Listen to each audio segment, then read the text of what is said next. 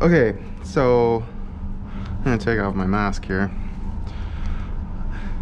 What we are doing right now is going to be etching, well, uh, printing an etched plate. So I have an older image uh, from, you know, several years ago, and it's a pretty small plate, and it has been printed, the edition's been printed. I've actually printed this quite a bit, so I've actually lost a lot of my finer detail in my aqua tints already, um, just through the, through running the press.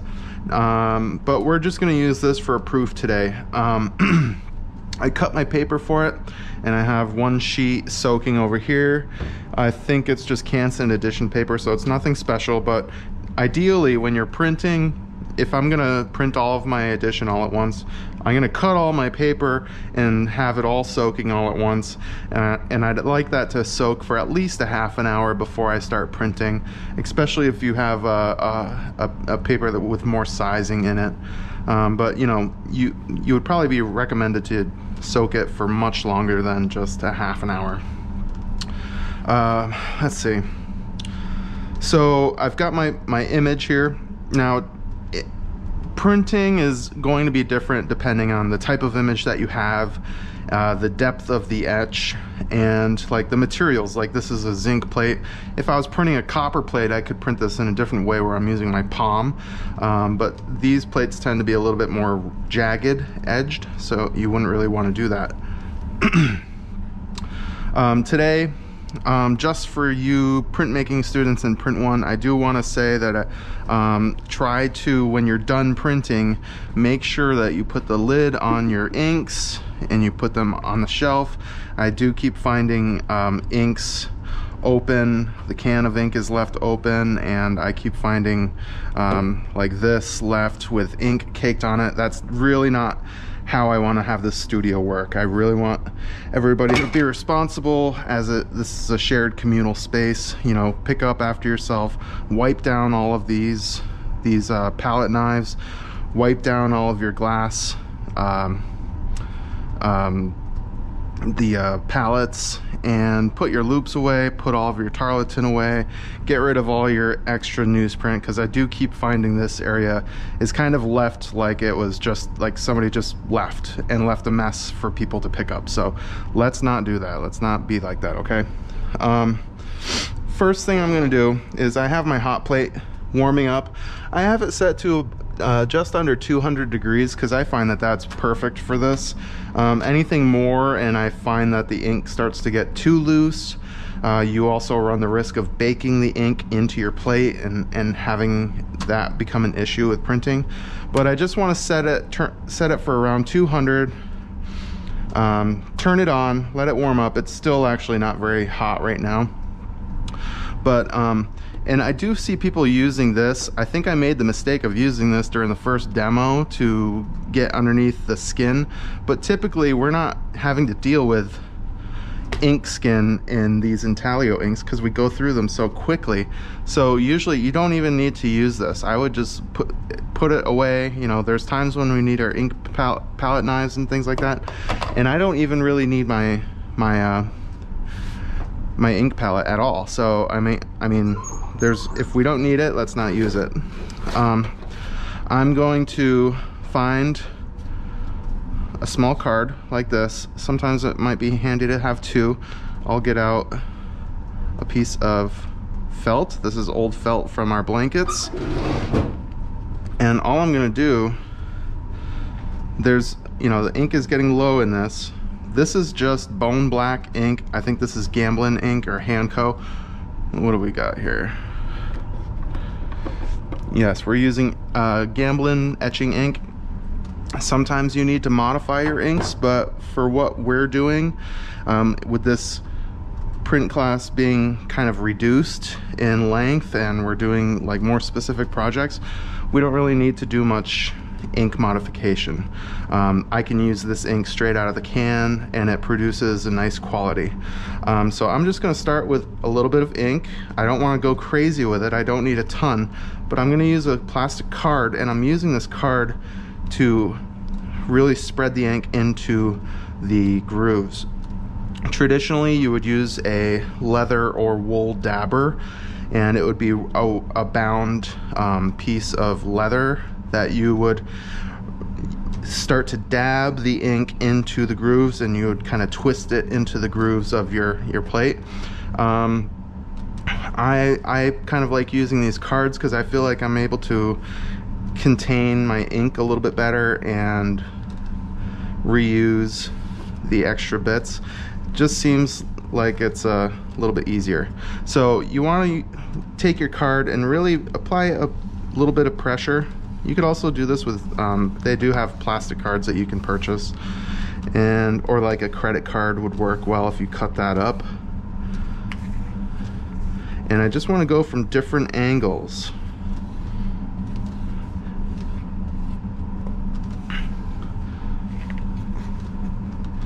I might pull just a little bit more ink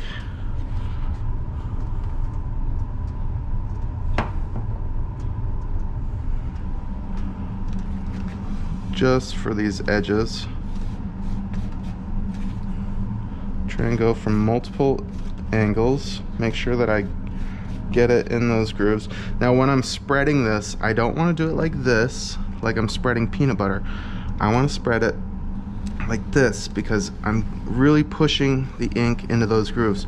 If I do it like this, I'm not really putting much downward pressure. That would be forcing the ink into those grooves. So this much works much better. And just go around from an angle, rotate my plate, come at it from another angle, And like I said, this would probably go a little bit faster, but the the hot press is still warming up, so it's not very hot. Now, the reason that we turn on the hot press at all is just to warm up the ink, and it helps to loosen it, loosen the, the ink body. Now, I can remove the excess at this point, and I'll just save that on my card, and I'll use that again I can use that one again. And now I need to switch to my, my tarlatan. I'm gonna switch to one that is not stiff, but also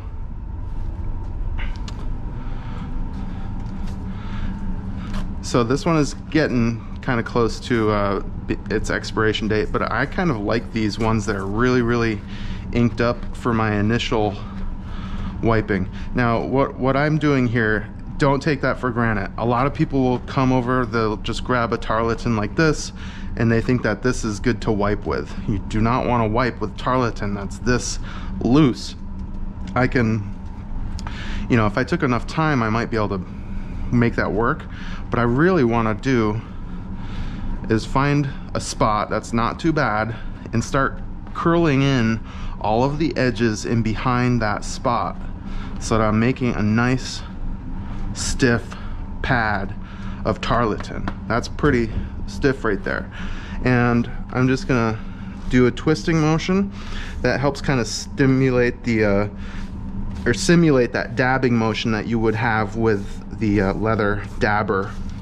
And it just helps to push additional ink into the grooves. And I just wanna remove the excess ink by doing that.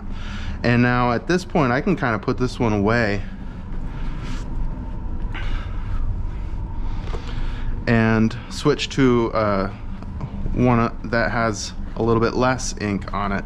Now these are two, and I want to do the exact same thing. So I'm loosening this up. You want to open up your, your cheesecloth or tarlatan, I mean. Find a nice clean spot and start to fold all of your edges back into it. Once again, I've got a nice stiff pad. Sometimes if my tarlatan is new, it's gonna be full of starch. So you'll wanna rub that around, open it up, crinkle it up, open it up, crinkle it up, and just loosen up the, you can see how stiff this is still. Um, so that's not the best state to use it. But sometimes if it's still stiff, I'll, I'll crinkle it up like this, make a pad, and then just kind of run that over the hot press a couple times just to smooth it out a little bit. Now this is, again, you can do this a couple different ways. You can pick this up and do circles like this. So you would do circles all the way around. You could do that on the hot press as well. You could also take a, a little card like this and just kind of butt it up against the edges but the way that I've been doing it for a long time just I was trained differently than the way I do it now but I like to just line this up with the edge of the hot plate and moderate pressure just pull once across the entire surface rotate my plate so that it's off slightly and every time I'm doing this I'm lightening up on my pressure just a little bit because I don't want to pull out the ink from the darkest areas, from the deepest grooves. I just want to kind of slowly pull the image off of the surface of the plate. Once you do that a couple times, unfold your tarlatan and fold it back up, find another clean spot, you know, give that a little buff. And again, I don't want any of these little straggly pieces in there. I want it nice and firm. Rotate my image. And I'm really not paying attention not to be touching the surface. And I can continue doing that very delicately now. I'm, I'm barely applying any pressure.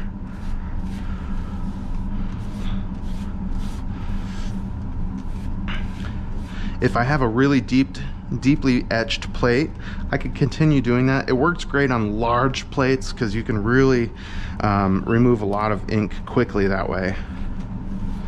And now I really want to pay attention to what I'm removing from my plate. I'm gonna look for another tarlatan. Here we go. So this one's a little bit stiff. This one's a little stiff too, but we'll make these work. So I'm I'm doubling up on them just so I have more of a pad to to work with here. Sometimes, you know, you don't want your tarlatan pad to be too small. It's nice to have it kind of little bit bigger in your hand, but I do have big big hands, so it's kind of easy to tell. So, okay, now I'm wearing this. I like to wear a leather glove on my left hand because I can hold it. And I'm pretty agile with moving my plate around. You'll get better at that. If it's still too hot, you could set it aside for a minute, let it cool down a minute. Or you can kind of try to try to do this off the plate a little bit. But at this point, I really want to be careful. So I'm looking for areas I don't want to remove too much ink. I just want to kind of soften the feathery edges all the way around here. And so I'm just doing circles now very delicate. I'm basically just using like the weight of my hand and allowing the ink to kind of cling off of the plate onto the tarlatan. So I'm, I'm really not applying any pressure at all. And rotate that. And just try to go around, get all of the plate equally. Change the direction. Make sure you're you're getting those corners because a lot of people will kind of ignore the edges of the plate and they'll focus on the center of the plate. You know we want to treat everything kind of the same here and now inspect that. So that was kind of like once all over. And I'm probably not gonna be able to get a whole lot more out of this because I have lost a lot of my detail and it's not a very deep deeply etched plate. So I'm just gonna do one more little pass here. And I can look at areas like where there's no aqua tints at all just as a gauge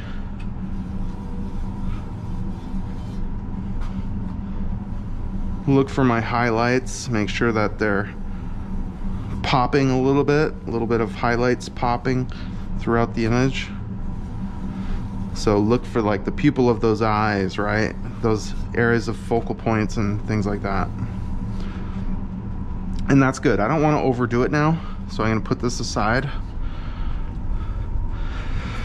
Now, some people actually, you could do this without any tarlatan at all. You could just use um, phone books or newspapers or newsprint.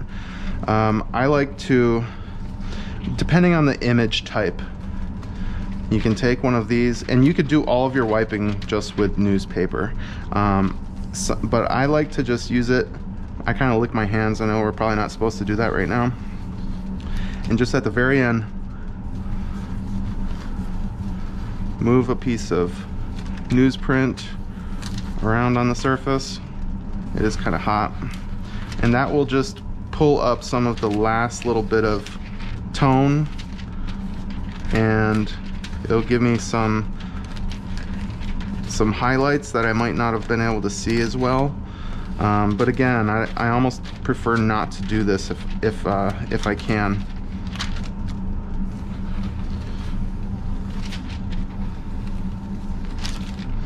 Because sometimes you can overwipe by doing this. And I'm getting close to that risk right now, but I wanted to show you how to do this. Okay, Okay, looks good. Now the last thing that I'm gonna do is take a piece of my cloth. So this is just cut up pieces of old sizing catcher. And I wanna carefully go around the edges of my plate.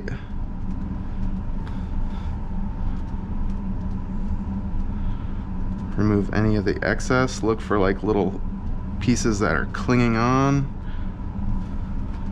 This just helps me keep a nice clean border or plate mark when I'm printing and I'm pretty happy with that.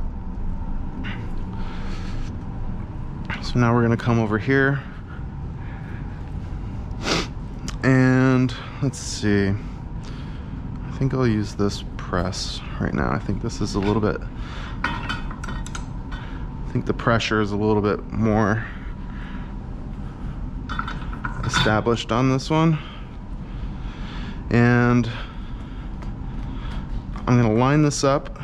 Um, there's a few different ways to do this, but what I'm gonna do is just kind of aim for this corner to go into that corner. And watch where I drop this. I'm gonna, it's gonna make contact back here, and then I can kind of scooch it up into that corner slowly line it up with that line and then just drop it that way there's not any like residual pieces of of ink that are around the border. And I know I'm gonna get a pretty clean print that way.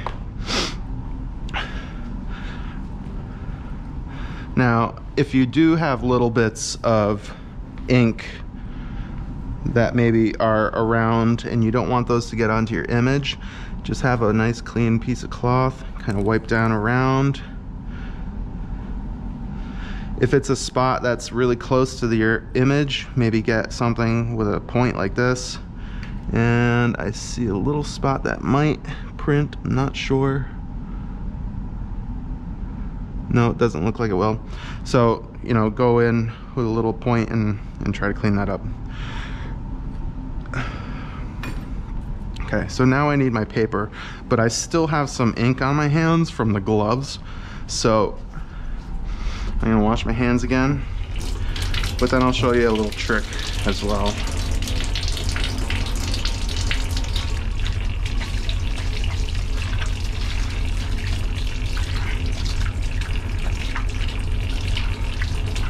All right, so I don't I don't want to have any ink on my prints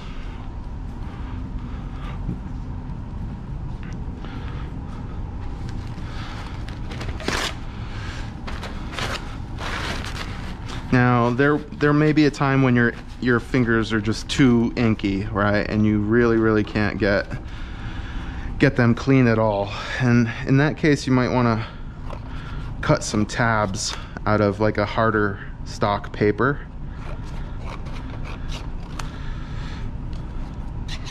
Just some small tabs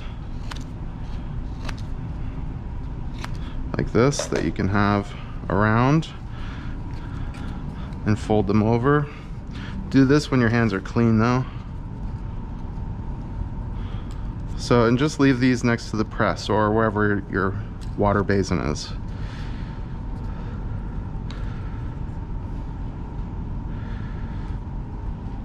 Now you could take two of these,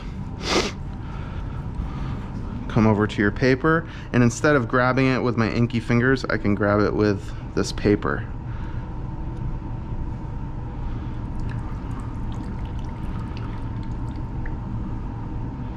So just making that little tab. Let it drip dry, right?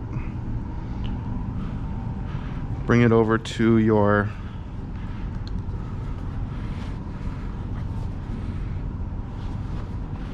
clean blotters. Find a spot that's clean.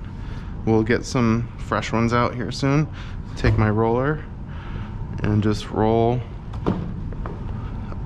just a couple times. I'm just removing the excess ink.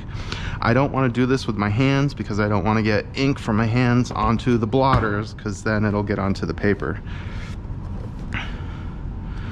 Take my paper tab.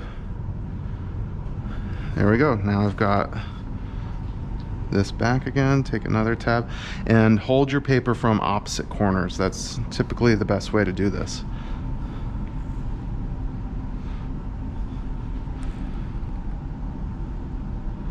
Now, I'm not sure, I didn't measure this paper specifically for this plate, but if I want to give this a one inch border, I just need to line this paper up with that edge now.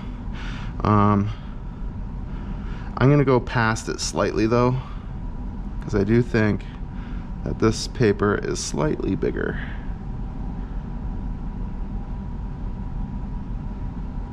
And once it's down, leave it. If it shifts a little bit, don't don't try to lift it up because it's most likely just going to make it worse. So once it's down leave it down. Now this pressure we set this press earlier and the pressure was pretty good.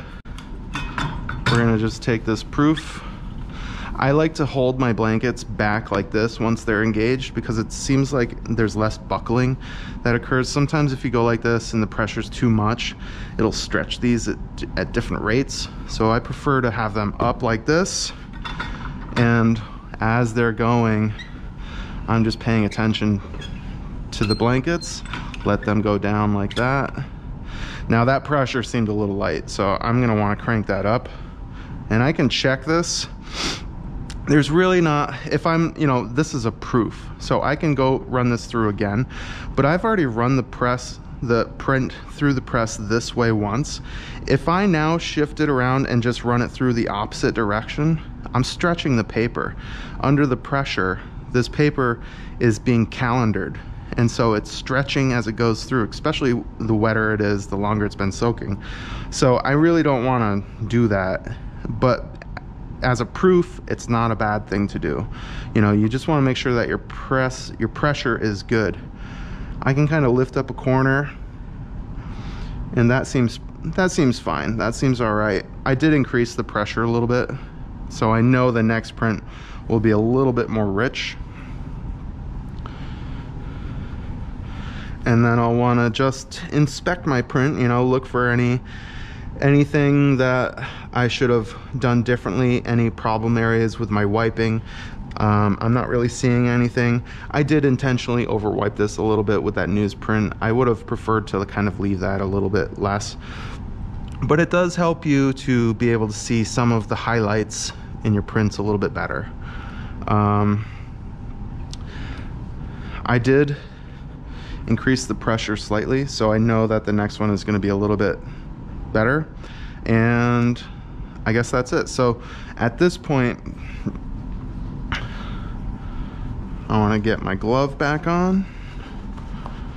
Anytime I'm handling my plate, move my plate. And then I'm going to get some press wash. So this is just simple green solution. And we usually hang it on the pr presses.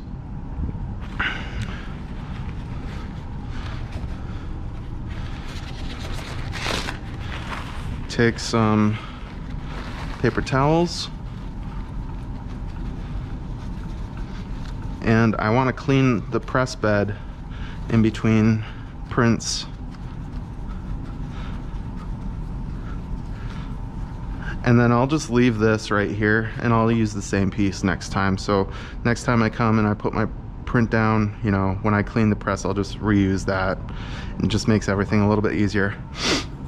Now, if I was going to take another print, I would bring it directly over here. There's still residual ink on the plate, and so that's good. Um, the next print will actually be a little bit better. Excuse me.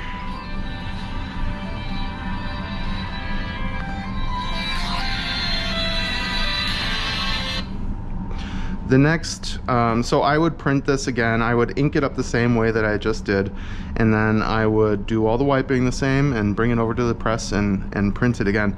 If I'm done with my edition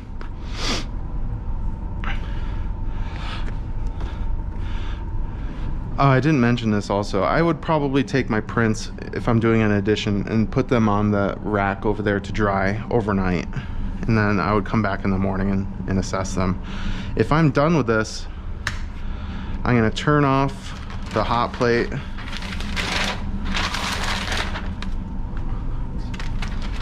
Put that away.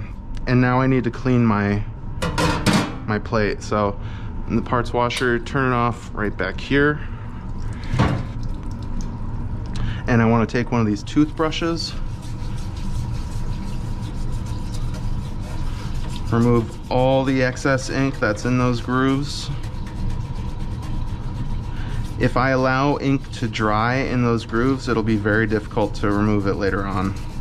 So I wanna make sure to, to get this all out now.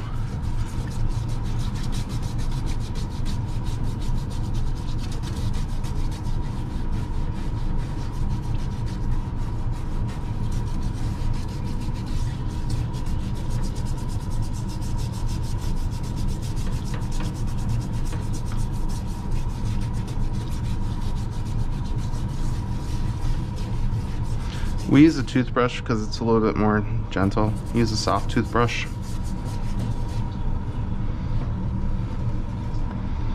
And when that's done,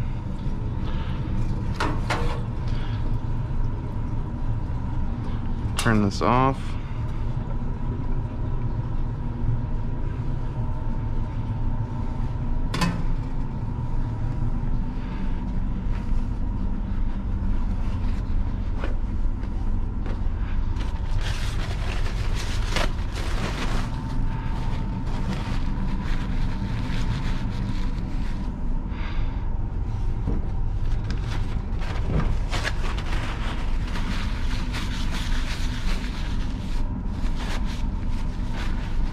Remove all the excess ink, front and back.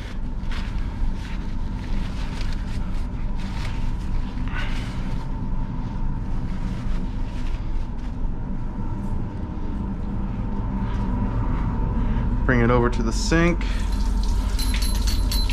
and then use some soap and water, right? You could use some common if you want to, but I would just use some soap and water.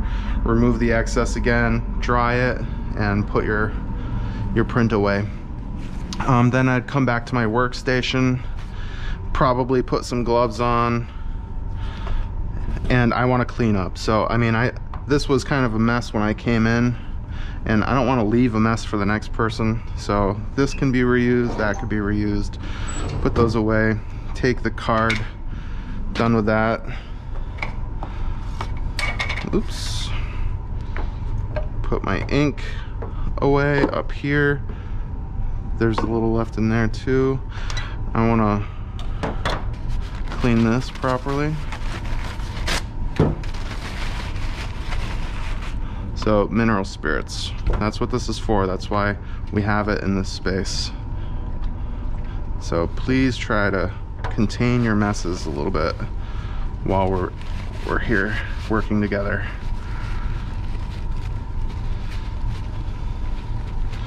Actually, I'm just gonna get rid of the glove. So I'll clean my hands afterwards.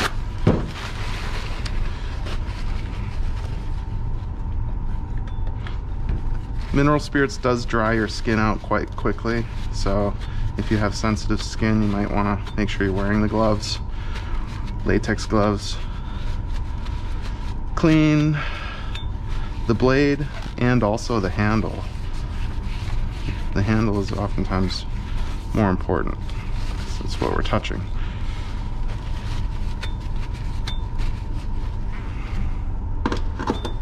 Put that away. And then take all my dirty pieces and wipe down all the counters. You know, if, if you do this every time you print, it'll be a lot easier to maintain uh, than, you know, this is probably four or five people who've printed and so this is kind of built up but it was actually just yesterday that I cleaned this so um, just want to make sure that we're keeping this space cleaned up.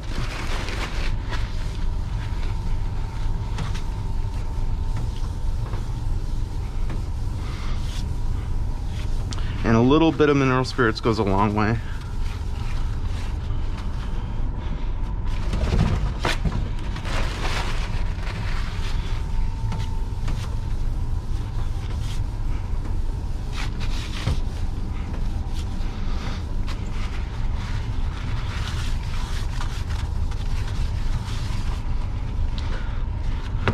make these disappear because I don't know if we even need them. Okay, and that's it. So make sure everything's tidied up. Take the lid down on my parts washer and check to see if my acid lid is down and turn everything off and then I'm ready to go. I'm, I'm all set. Um, I'm actually going to be printing doing a little bit more with my Aquatint test strip, so I'm gonna leave that open for now. But um, hope that was helpful and see you soon.